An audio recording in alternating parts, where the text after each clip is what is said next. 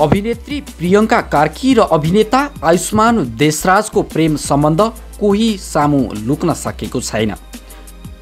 यी दुई मिडियामा खुलेर आफ्नो प्रेमबारे बताउँछन्। झन्डै डेढ वर्ष प्रेममा रहेका यी दुईले इङ्गेजमेन्ट गरेका छन्। शनिबार यी दुईको टिको टालो भएको हो। आयुष्मानकी आमा रविना देशराजले आफ्नो इन्स्टाग्राममा केही तस्विरहरू राख्दै प्रियङ्कालाई बधाई दिएकी छिन्। उनले एक तस्विरमा प्रियङ्का जोशी समेत लेखेकी छिन्।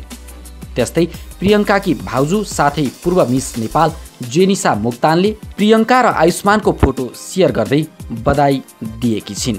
नायिका प्रियङ्का र आयुष्मान देशराजको इङ्गेजमेन्टका केही तस्विरहरू।